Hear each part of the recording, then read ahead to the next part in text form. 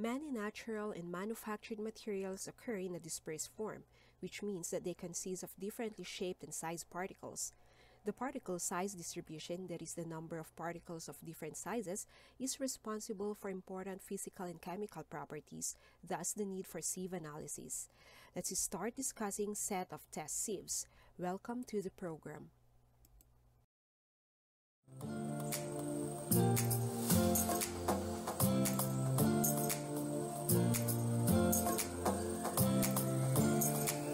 Thank you.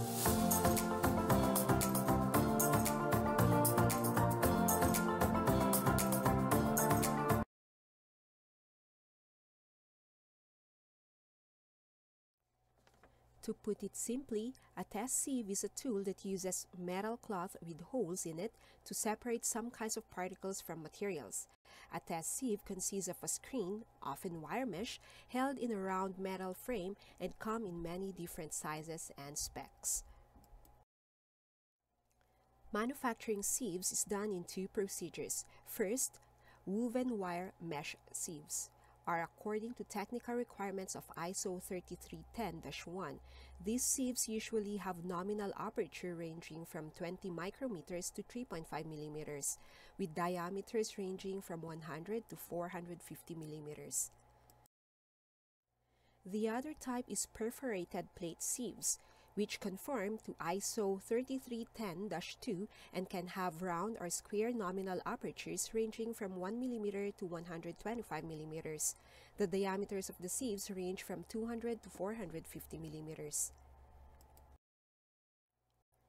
The available sizes of sieves as followed from ASTM E11 would be classified according to the samples to be tested.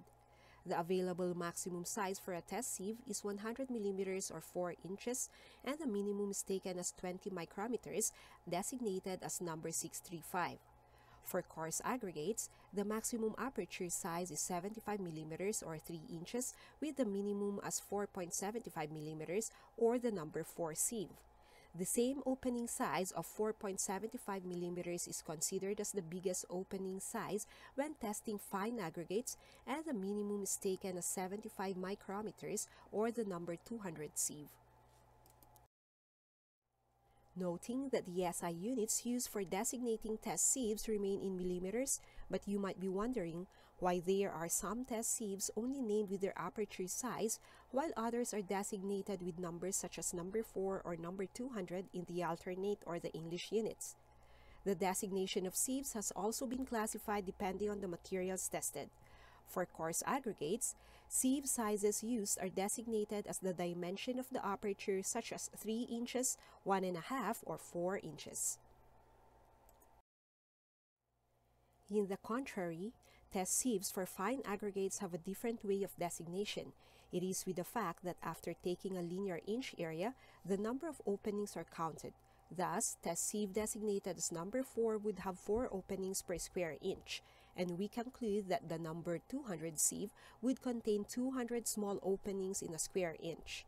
If you attempt to count the openings, it is advised that you take the center of the area as the starting point for counting the apertures. Today, manual sieving is only used where no electricity supply is available, for example, for rapid on-site random checking for oversize or undersize. It is only used for orientation purposes. In contrast, sieve analysis in the laboratory and for quality assurance are carried out with sieve shakers.